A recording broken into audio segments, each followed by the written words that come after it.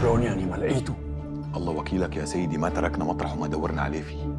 لا بالبيت ولا بالفرماسية ولا حتى بكل الحارة. فص ملح وداب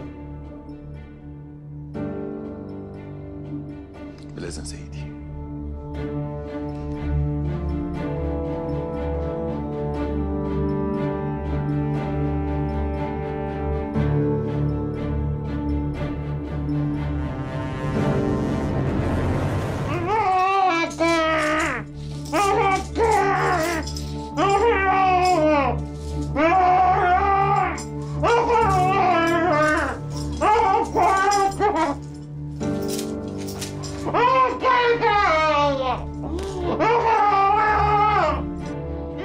الامانه عمي أبو بشير. إيه والله استلمتها لك والله يديم القبضايات يلي مثل حكايتك يا أبو سطار حياك الله. تأمرنا بشي خدمة. روح الله ييسر لك يا رب. السلام عليكم. مع السلامة. الله يكون معكم